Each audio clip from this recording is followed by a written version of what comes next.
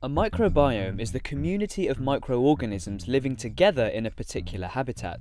It's like a complex ecosystem of microscopic life forms.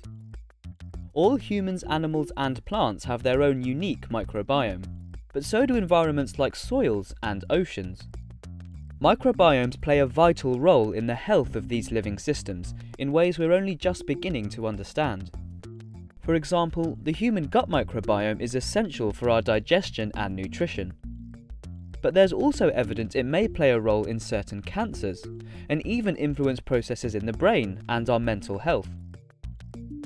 Microbiomes in soils are fundamental to global processes like the nitrogen cycle, while ocean microbiomes help provide around half of all the oxygen generated on Earth each year.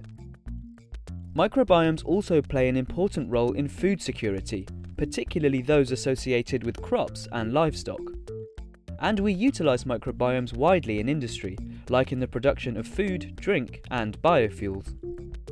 Microbiome research is still in its infancy, but with modern technology, it's possible to sequence the DNA of entire microbial communities and study the thousands of genes and proteins that a microbiome contains. In the future, a more holistic understanding of microbial life could help us better treat disease, protect the environment, and harness the power of Earth's ecosystems.